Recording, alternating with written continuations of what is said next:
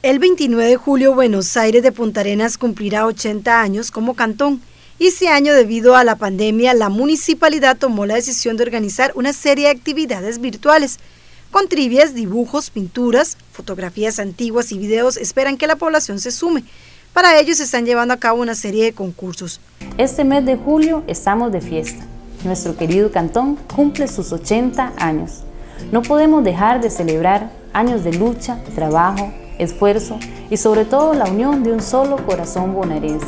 Es por esta razón y tomando todas las previsiones del Ministerio de Salud ante la situación sanitaria en la que estamos viviendo, que queremos realizar una celebración en forma virtual, la cual conlleva concursos de trivias alusivas a la historia de nuestro cantón, concursos de pinturas y dibujos en categoría para los niños y adultos y también vamos a premiar la fotografía más antigua de Buenos Aires y sus pobladores.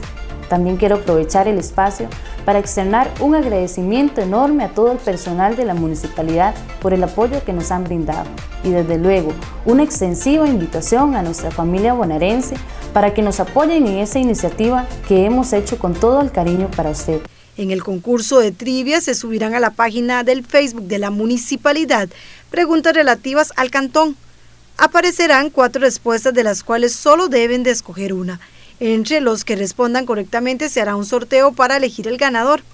En el caso de dibujo y pintura, el único tema debe ser el cantón, explicar el significado de la pintura o dibujo.